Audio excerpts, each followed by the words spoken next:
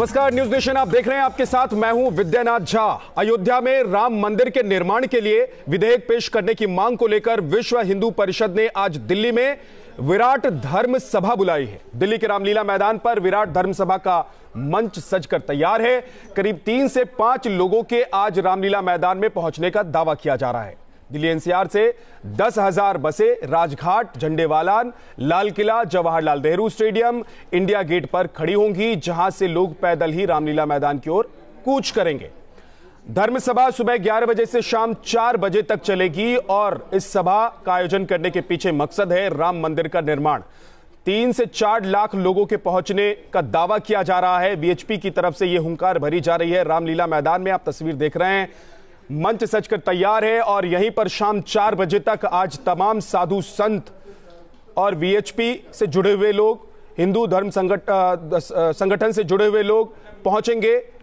आज मांग इस बात को लेकर होगी कि राम मंदिर का निर्माण हो। राजघाट चौराहे पर भी स्क्रीन लगाए गए ताकि अलग अलग जगहों पर जो लोग मौजूद रहेंगे, वो देख सके कि इस धर्म सभा में क्या बातें हो रही हैं, कैसी तस्वीर है। लेकिन अलग अलग जगहों से बस के ज़रिए रामलीला मैदान तक लोग पहुँचेंगे और पैदल ही चलकर लोग रामलीला मैदान तक पहुँचेंगे क्योंकि नोट प्लेस के आसपास की कुछ जगहों को सुरक्षित किया गया है। वहाँ पर सुरक्षा व्यवस्था भी बढ़ा दी गई है ताकि किसी तरीके से कोई उपद्रव करने की अगर कोशिश करता है तो उन्हें रोका जा सके।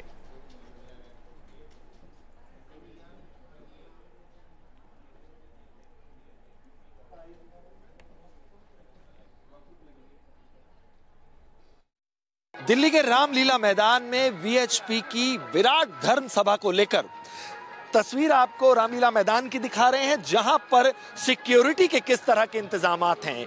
इसी तरह के गेट हैं, गेट से एंट्री के वक्त आपको सबसे पहले सुरक्षा की पहली तस्वीर दिखेगी, जबकि अगर दूसरी तस्वीर के अगर भीतर आप एंट्री करते हैं तो मेटल डिटेक्टर गेट जो हैं, वो लगाए गए हैं। बाकायदा चेकिंग के बाद ही आप रामलीला मैदान में एंट्री कर सकते हैं।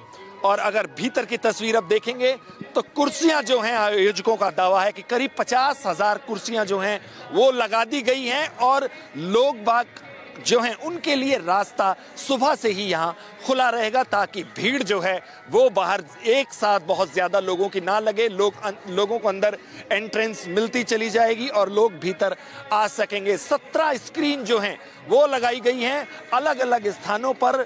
अगर मैदान के भीतर की बात करें तो वो भी और मैदान के बाहर भी इस तरह की स्क्रीन जो है, वो लगाई गई हैं। सोलह पार्किंग की जगह बनाई गई हैं। और साथ ही साथ करीब दस हज़ार जो बसें हैं दिल्ली एनसीआर और आसपास से, वो यहाँ पर लोगों को लेकर आएँगी वीएचपी से जुड़े जो लोग हैं।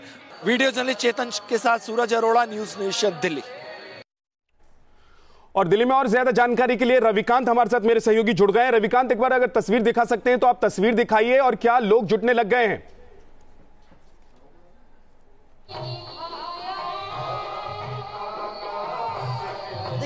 दिल्ली का रामलीला मैदान जो है ऐतिहासिक बदलावों का गवाह रहा है।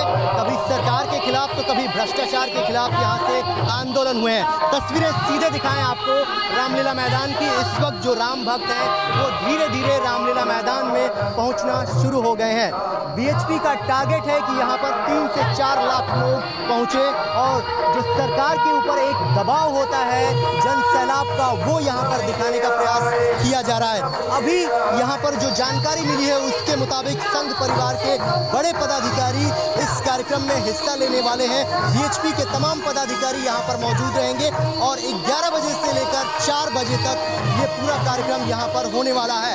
अगर मंच की बात करूँ तो मंच पर जो स्लोगन दिया गया है कि अयोध्या में श्री राम जन्मभूमि पर भव्य मंदिर निर्माण के लिए कानून बनाओ, यानी सरकार पर सीधे तौर पर दबाव बनाने की रणनीति है, क्योंकि संसद का जो सत्र है, वो 11 दिसंबर से प्रारंभ हो रहा है, और बीएचपी संत समाज और आरएसएस की रणनीति यही है, क्योंकि उनका ये कहना है कि सुप्रीम कोर्ट ने कहा है कि राम मंदिर जो है, वो उनकी प्राथमिकता में नहीं है। लेकिन जो आम जनता है, जो राम भक्त है, उनके लिए राम मंदिर का जो विषय है, वो आस्था का है, और उस पर प्राथमिकता होनी चाहिए।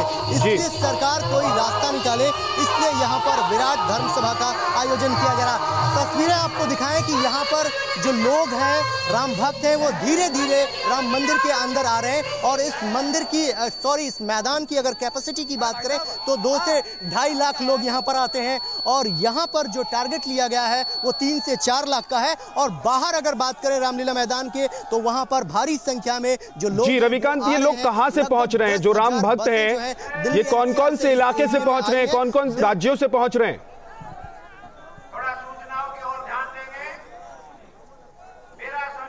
देखिए वीएचपी ने जो जानकारी दी है उसके मुताबिक ये जो लोग यहाँ पर रामलीला मैदान में आ रहे हैं, वो उत्तर प्रदेश से हैं, हरियाणा से हैं, राजस्थान से हैं और आसपास जो दिल्ली एनसीआर के जितने भी कार्यकर्ता हैं वीएचपी के जो राम भक्त हैं, उनसे इन लोगों ने कांटेक्ट किया है। इन तीन चार राज्यों से ही बुलाया गया है। उनका ये कहना है कि हम नहीं चाहते कि यहाँ पर दिल्ली में कोई कानून व्यवस्था का सवाल खड़ा हो, दिल्ली पुलिस को कोई दिक्कत हो। इसलिए यहाँ पर इन्हीं राज्यों से लोगों को निमंत्रण दिया गया था, उनको बुलाया गया था।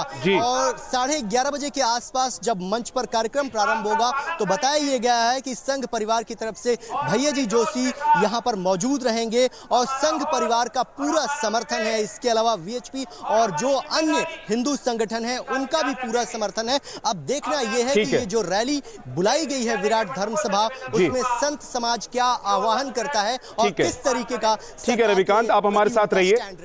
आज धर्म सभा का आयोजन दिल्ली में किया जा रहा है। तीन से चार लाख लोग पहुँचेंगे। ये दावा वीएचपी की तरफ़ से किया जा रहा है। हमारे साथ इस पर बात करने के लिए मौलाना साजिद रशीदी साहब हैं, धर्मगुरु हैं। बहुत बहुत स्वागत है सर आपका। मौलाना अब्दुल हमीद साहब भी हमारे साथ हैं स्टूडियो में धर्मगुरु। बहुत बहुत स्वागत है सर आपका भी। यतीमा धर्मगुरु हमारे साथ स्टूडियो में मौजूद है। आपका भी बहुत स्वागत है। राजकुमार फलवारिया संघ विचारक हमारे साथ है। सर आपका भी बहुत बहुत स्वागत है। श्री महंत नारायण गिरी हमारे साथ है। महंत जूनागढ़ से आपका भी बहुत बहुत स्वागत है। और एच एस रावत धर्मगुरु हमारे साथ जुड़ गए हैं। बहुत बहुत स्वागत है आप सभी का। लेकिन यतीमा, सबसे पहले आपसे ही मैं सवाल करता हूँ कि क्या इस तरह की धर्म सभाओं से सरकार पर दबाव पड़ रहा है? बहुत सुंदर एक दृश्य है भगवा का। इसमें कोई दो राय नहीं है और इससे हम सब अभिभूत होते हैं क्योंकि जब भी ऊर्जा का ये प्रतीक है। लेकिन इससे होने वाला कुछ भी नहीं है। आपके चैनल के माध्यम से ये बात मैं बहुत बार कह चुकी हूँ। हम्म। ये सिर्फ़ हिंदुओं को दोबारा से बरगलाने का एक तरीका है। बाकी हासिल कुछ भी नहीं होना। क्योंकि हिंदुओं के अस्तित्व की रक्षा के लिए जो कार्य करने थे सरकार को वो किए नहीं। इसलिए आज अनुषांगिक संगठन ये मात्र शक्ति प्रदर्शन है। और शक्ति प्रदर्शन में भी कितना ये लोग सफल होते हैं अभी ये देखने का विषय है। राजकुमार जी क्या शक्ति प्रदर्शन कर रहे हैं आप लोग? मेरा ये मानना है कि इस देश में लोकतांत्रिक देश में किसी भी सामाजिक संगठन, धार्मिक संगठन इवन राजनीतिक संगठन को भी अपनी बात कहने का अधिकार है, अपनी बात को रखने का अधिकार है और अपनी बात को रखने का अधिकार जो है, वो अपने संवैधानिक तरीके से है। इस देश में अभी कुछ समय पहले किसानों ने बहुत बड़ा आंदोलन किया जंतर मंतर पे। उससे पूर्व मजदूरों ने आंदोलन किया। तो इस देश में अगर विश्व हिंदू परिषद जैसे सामाजिक संगठन अगर राम मंदिर के निर्माण के लिए लोग तो पूछ रहे हैं कि कब तक आंदोलन करेंगे? कब तक इस तरह की धर्म सभाएँ होंगी? चुनाव से ठीक पहले ऐसा माहौल बन जाता है। लेकिन चुनाव के बाद पाँच साल तक आप लोग भी शांत रहते हैं सरकारें भी शांत रहती है। जी इस देश में इतना बड़ा देश है जहाँ चुनाव हर दो साल बाद हर एक साल बाद कहीं ना कहीं किसी ना किसी राज्य में चुनाव होते हैं। और रही बात ये केस राम जन्मभूमि का मुद्दा न्यायालय और धर्म विषय में जुड़ा हुआ है। न्यायालय के अंदर रहते हुए किसी भी सरकार की कोई बाध्यता हो सकती है, लेकिन विश्व हिंदू परिषद एक जन संगठन होने के नाते उसका दायित्व है कि अपनी बात को जन समर्थन आंदोलन के रूप में रखे और संवैधानिक तरीके से रखे, लोकतांत्रिक तरीके से रखे, जो उसका वो प्रयास कर रहे हैं। साजिद रशीदी, क्या ये एक आंदोलन है? और ये आंदोलन सिर्फ़ इसलिए है कि राम मंदिर बन जाए या फिर इसके पीछे आपको ये भी लग रहा है जैसा कि आरोप लगाते रहे विपक्षी दल के नेता कि ये आंदोलन दरअसल चुनाव को देखते हुए होता है। देखिए, एक चीज़ मैं आपको बताऊँ, बात रखने का सबको अधिकार है। यह संविधान है, इसमें कोई दो राय नहीं। लेकिन आप देख रहे हैं, पिछले कुछ टाइम से भीड़ तंत्र के जो हालात हैं, उनको देखते हुए कम अज़ कम इस मामले को हसास समझते हुए और कहीं ना कहीं इसकी बहुत ही ज़्यादा उसको समझते हुए इस तरह की भीड़ को इकट्ठा करना असंवैधानिक है। क्योंकि आपने देखा बुलंदशहर में क्या हुआ? उसके पहले राजस्थान में क्या हुआ? इस तरह की क्या पहली बार हो रही हैं? सुन सुन लीजिए मेरी बात मेरी बात सुन लीजिए पहले पूरी कर दूँ। आपने देखा किसान आंदोलन का इन्होंने ज़िक्र किया क्या कुछ नहीं हुआ? सरकार को कितने हज़ार करोड़ का नुकसान हुआ? तो ये सारी जो चीज़ें हैं कहीं ना कहीं सरकारी संपत्ति को भी नुकसान होता है और तो प्राइवेट कोई कोई राजनीतिक सभा रैली कुछ नहीं होना चाहिए सर।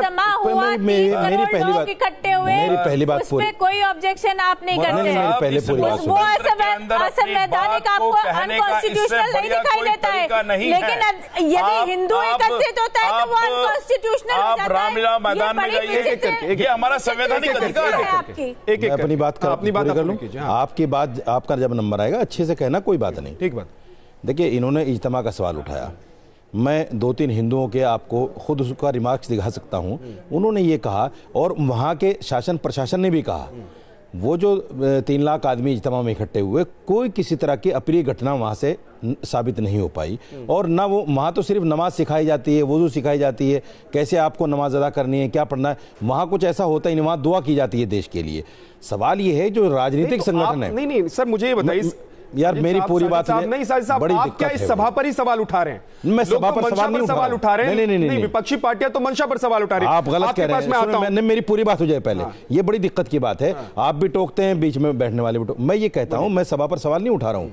मैं इस पर सवाल उठा रहा हूँ कि इस तरह की जब भीड़ इकट्ठी होती है तो उसको रोकना शासन प्रशासन दोनों के लिए मुश्किल हो जाता है। तो आप देखिए नहीं होनी चाहिए। आप आप सुन लीजिए नहीं, अब हुआ क्या? हुआ क्या? धर्म का चोला पहनकर जब इस तरह की सभाएँ होती हैं तो कहीं ना कहीं उसमें कोई ना कोई बात होती है ये राजनीतिक इस तरह की सभाएँ नहीं होनी चाहिए? क्योंकि इस तरह की सभाओं में कुछ भी हो सकता है। इसलिए सरकार सिस्टम को इस तरह की सभाओं को होने ही नहीं देना चाहिए। देखिए सभा जो है जैसे कहा गया है कि ये संवैधानिक कानूनी अधिकार है। लेकिन जो है परिणाम को देख के और जो समस्या है और जो मुद्दा है उसका जो है व्यवहारिक जो है समाधान होगा। ये जो है वो देखने वाली बात है। लेकिन जहाँ तक सभा है उस पर जो है मैं सवाल नहीं उठा सकता हूँ कि ये जो है संवैधानिक है या गैर संवैधानिक है। लेकिन व्यवहारिकता को आप देखिए संविधान को देखिए संसद को देखिए तो उस हिसाब से जैसे कि जो है तो कह रहे हैं कि असंवैधानिक सभा है ना इस तरह की सभा होनी नहीं चाहिए। नहीं वो वो इस तरह की सभा में वो, माहौल वो इसके परिणाम को खराब जाए लेके वो और क्या जाए परिणाम के मुद्दे पे ये परिणाम को लेके बहस कर रहे हैं कि इस तरह जब भीड़ होती है तो वो कुछ अप्रिय घटना भी हो जाती है। हाँ। लेकिन यह है कि मैं परिणाम को लेकर जो है जो मुद्दा है राम मंदिर और बाबरी मस्जिद का वो मुद्दे को लेकर अगर आप व्यवहारिकता को देखें तो इसका जो है समाधान जो है इन सभाओं से बिल्कुल भी जो है होता सर, इस पर वापस लौटेंगे। दिल्ली के रामलीला मैदान में विश्व हिंदू परिषद के होने वाले इस कार्यक्रम में मंदिर निर्माण को लेकर क्या संकल्प लिया जाएगा इस पर विहिप नेता वीएचपी के नेता विनोद बंसल का क्या कहना है सुनवाते हैं आपको। देखिए, ये जो राम भक्तों का सैलाब आप देख रही हैं, ये ये जो राम भक्तों का सैलाब है, वो इस बात को कह रहा है कि भाई, अब जो है, हमारी, हमने बहुत धीरे रख लिया। 500 साल तक इंतज़ार किया। हमने सवा सौ साल कानूनी लड़ाई लड़ी। आठ साल सुप्रीम कोर्ट में और साठ साल जो है, हमने हाई कोर्ट में बिताए। लेकिन अभी तक वहीं के वहीं खड़े हैं। और माननीय सर्वोच्च न्यायालय ने साफ़ कह दिया कि हमारे पास सुनवाई के लिए कोई प्रायोरिटी का विषय नहीं है। तो अब इस समय राम भक्तों का एक ही मांग है कि संसदीय कानून के माध्यम से जल्दी से जल्दी राम मंदिर बनना चाहिए। तो देखिए अपनी अपनी दलीलें हैं अपनी अपनी तर्क हैं लेकिन सवाल यह है कि इस तरह की सभाओं से क्या मंदिर का निर्माण हो जाएगा? एच एस रावत साहब मंदिर का निर्माण हो जाएगा क्या? और फिर पाँच साल से इस तरह की सभाएँ हमें क्यों नहीं देखने को मिल रही थी सर? देखिए मैं विद्यानाथ जी आपके चैनल पर मैं लगातार पिछले चार साल से इस मुद्दे को उठाता रहा हूँ और विनोद बंसल जी शायद रसीदी साहब भी बैठे हुए हैं। इनके सामने में बार बार ये कहता रहा हूँ कि बिल लेकर के आओ। पिछले चार साल से, अब परसद ने तो ये मुद्दा अभी उठाया है, पिछले दो तीन महीने से। लेकिन मैंने लगातार इस मुद्दे को उठाया है हाँ प्रेसर बनाना, ये हमारा काम है। हम चाहते हैं राम मंदिर बने भगवान राम का ये देश है हमारी आस्था का सवाल है सौ करोड़ हिंदू की आस्था का सवाल है। अगर राम का मंदिर नहीं बनेगा तो हम कहाँ जाएँगे? ये एक पर्यटन देश है यहाँ पर दुनिया आएगी रामायण को दुनिया जानती है रामायण को दुनिया सीखती है। अगर वो चीज़ नहीं बन पाती है तो हमारे लिए बड़े शर्म की बात है और हमारा आस्था का विषय है। इसलिए मैं तो हमेशा लगातार ये कहता रहा हूँ मुस्लिम धर्मगुरुओं से भी कहता रहा हूँ सरकार से भी कहता रहा हूँ कि आप किसी भी तरीके से आप इसमें बिल पास करिए या कानून लेके आइए, या जितने भी मुसलमान रहनुमा हैं, या जो धर्मगुरु उनसे बात करके इसका निवारण अवश्य होना चाहिए। अगर ये निवारण नहीं होता है तो देश के अंदर ध्रुवीकरण होता रहेगा। और ये विवाद पैदा होता रहेगा। ठीक है लेकिन अब तो अब तो पार्टी के भीतर से ही पार्टी के भीतर से ही बीजेपी के भीतर से ही आवाज़ उठने लगी है कि अगर राम मंदिर का निर्माण नहीं होता है तो सरकार गिरा देंगे। लेकिन सरकार गिराने की धमकी तब दी जा रही है जब चुनाव सर पर है। तो राम मंदिर निर्माण के लिए आज एक बड़ी सभा दिल्ली में बुलाई गई है। वीएचपी की तरफ़ से यह सभा बुलाई गई है लेकिन तीन से चार लाख लोग इसमें पहुँच रहे हैं। ऐसा दावा किया जा रहा है। हालाँकि लोग अभी पहुँचने शुरू हो गए लेकिन सवाल यह उठ रहा है कि आखिर जब खुद योगी आदित्यनाथ ये कह चुके हैं कि सुप्रीम कोर्ट में यह मामला है। अगर हमारे प्रदेश में, हमारे सरकार के पास यह मामला होता तो मंदिर का निर्माण हो चुका होता। सुब्रमण्यम स्वामी धमकी देते हैं सरकार को। एक तरीके से वो ये कह देते हैं कि अगर ये सरकार जल्द से जल्द राम मंदिर का निर्माण नहीं करवाती है तो फिर ये सरकार गिरा दी जाएगी। फिर सवाल ये उठता है कि इस तरह की बड़ी सभाओं का औचित्य क्या है? राजकुमार जी, तमाम जगहों पे तो लोग बैठे हुए ना? आरएसएस के, वीएचपी के, बीजेपी के आपके ही संगठन के तमाम लोग हैं या फिर आपसे जुड़े हुए संगठनों के लोग हैं। फिर इस तरह की सभाएँ और इस तरह की बातें क्यों? राम मंदिर निर्माण के लिए एक ठोस कदम क्यों नहीं? मैंने ये पहले भी आपसे कहा कि ये राम जन्मभूमि का जो आंदोलन है जो केस है ये सुप्रीम कोर्ट में लंबित है एक विषय। इस लोकतांत्रिक व्यवस्था तो में सुप्रीम कोर्ट के फैसले का इंतज़ार कर लेंगे सर। आप मैंने ये कहा ना कि यहाँ पर सुप्रीम कोर्ट में लंबित होने के साथ साथ केस दो तरह पर लड़ाई लड़ी जा रही है। एक कोर्ट के अंदर लड़ाई लड़ी जा रही है और एक जनता के बीच में लड़ाई जा रही है और इस देश के अंदर लोकतांत्रिक व्यवस्था के अंदर जिस विषय के लिए लड़ना है वो लोगों के विषय में जाना चाहिए। जन आंदोलन लोकतांत्रिक तरीके से एक संवैधानिक तरीके से खड़ा आप लोग तय कर लीजिए ना सर। आप लोग तय कर लीजिए कि सुप्रीम कोर्ट का का इंतज़ार करेंगे उसके फैसले का इंतज़ार करेंगे या इस तरह की सभाओं को बुलाकर सरकार की तरफ़ से कोई फैसला उठाने या कदम उठाने के लिए सरकार को मजबूर कर मान के चले कि सुप्रीम कोर्ट ने भी कई बार जन आंदोलनों को देखते हुए अपने गतिविधियों को अपने निर्णय को सुप्रीम कोर्ट को भी बताने की आवश्यकता है ना कि जन आंदोलन जन भावनाएँ क्या है? आस्था क्या है? श्रद्धा क्या है? रशीद साहब बहुत छोटा सा इस- कमेंट इस ब्रेक पर जाना है बहुत छोटा सा देखिए मैं 20 सेकंड से। मैं, मैं सिर्फ़ ये कहना चाहता हूँ इस आरएसएस आज इस स्थिति में है सरकार को आज चाहे एक सर एक मिनट सर एक बताने की आवश्यकता है। आरएसएस आज इस स्थिति में है आरएसएस नहीं सरकार बनाई है सरकार आज गिरा सकती है। तो फिर ये धमकी किसको देना चाहिए बात है? बताना इस किसको तरह की सभाओं का फिर क्या मकसद है? और सवाल अगर उठ रहे हैं तो उसका जवाब भी देना पड़ेगा।